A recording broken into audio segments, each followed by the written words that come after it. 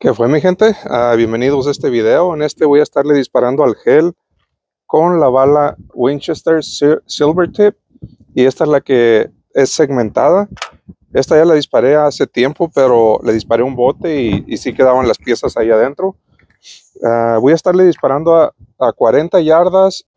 Ah, en 40 yardas la vez pasada el calibre 22 atravesó con el gel, pero era una bala punta Full Metal Jacket y esta es segmentada, lo cual quiero decir que no la va a atravesar porque se va a desintegrar, le va a quitar velocidad. Entonces, como lo mencioné, uh, voy a disparar a 40 y pues vamos a ver cómo nos queda, no sin antes mandarle un saludo a todos los que me han seguido, los que me han mirado.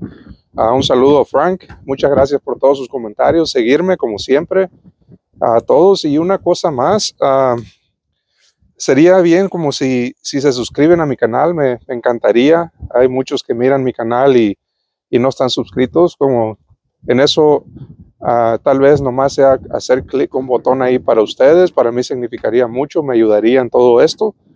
Pues muchas gracias, entonces vamos a seguirle, vamos a ver cómo nos queda este video.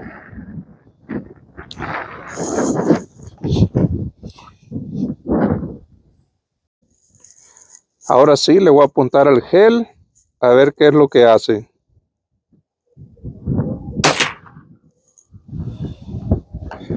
Ahí quedó. Pegó bien. Arma limpia, vamos a ver. Miren qué bonito quedó esto.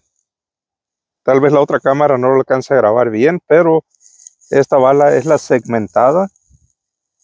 Y la bala llegó aquí.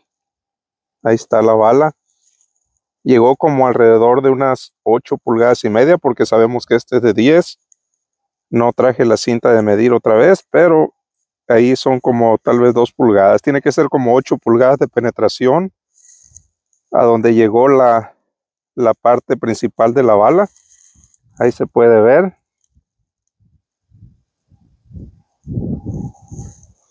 Y se pueden ver los pedazos como se abrieron donde estuvo el golpe todo el daño un pedazo se fue hacia arriba, otro se fue hacia abajo y el otro quedó allá adentro.